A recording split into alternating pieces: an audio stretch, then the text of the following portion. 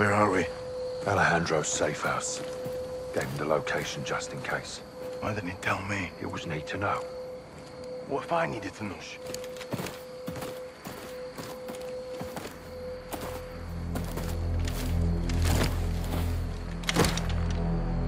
Pressure plane. Alejandro rigged it. Smart bastard. There.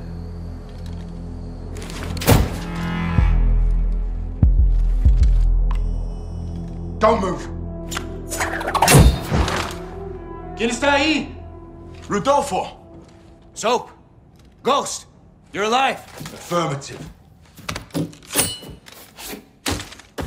Good to see you, amigos. Igual, amigo. Nice throw. Where were you guys? On the run. I was on the run. Ghost waited for me. Of course, no? No. Yes.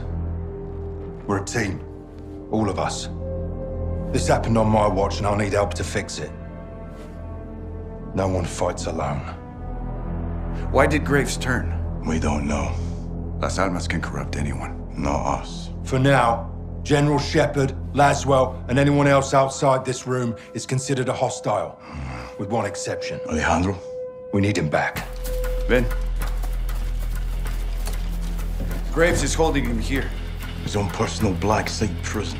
My team is locked in there too. How do we get him back?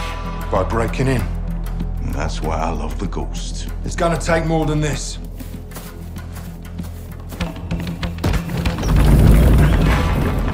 It's well stocked. All right. My man. We're gonna need new wheels. Preferably up armored.